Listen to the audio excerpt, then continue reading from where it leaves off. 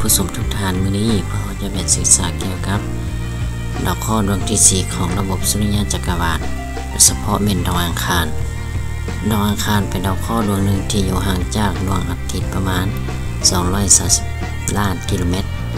และอยู่ห่างจากหน่วยโลกประมาณ 30 ล้านกิโลเมตร ซึ่งมีขนาดน้อยกว่าโลกเกือบครึ่งหนึ่ง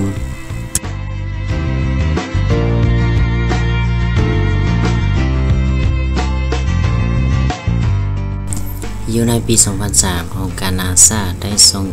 ยานอวกาศจรวดของโรเวอร์ขึ้นไปสำรวจพื้นผิวของดาวอังคาร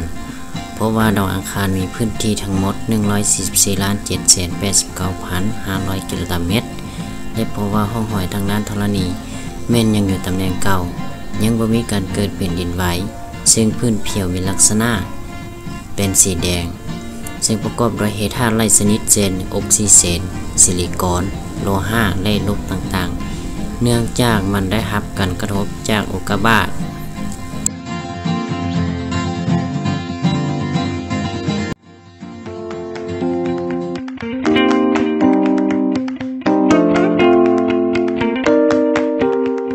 ในทางด้านภูมิสถานเม่นมีลักษณะเป็นรูปเป็นบอซึ่งประกอบด้วยสันผู ผูเพียง แห้วภูเขาไฟ และทะเลทรายที่แห้งแล้ง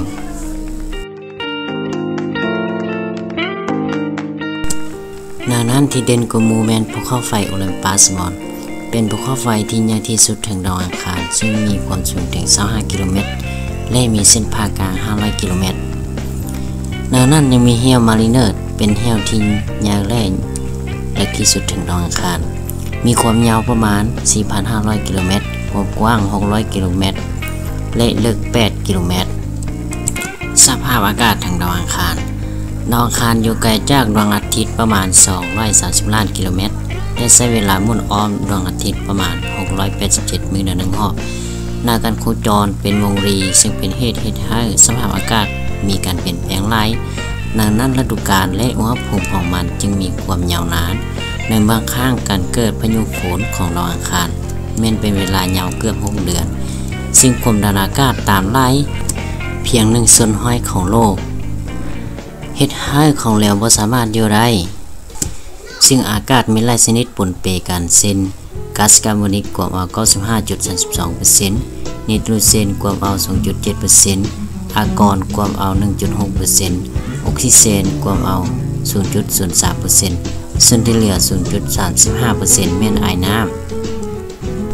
อุณหภูมิอยู่เหนือเส้นศูนย์สูตรสูงถึง 35 องศาเซและขั้วเหนือขั้วใต้มีอุณหภูมิเฉลี่ยลบ 65 องศาเซอุณหภูมิต่ำสุดแมนลบ 143 องศาเซอังคารมีสองขั้วคล้ายคลึงกับโลกเฮาแต่ละขั้วประกอบด้วยน้ำก้อนที่แห้งแล้งที่ปกคลุมอยู่อย่างถาวรอยู่ในขั้วเหนือมีความหนาประมาณ 1 กิโลเมตร และขั้วใต้ 8 กิโลเมตร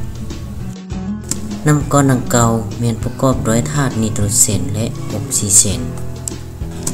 จากการสำรวจทางดาราศาสตร์ไล่ทาหนึ่งตั้งข้อสมมติฐานว่า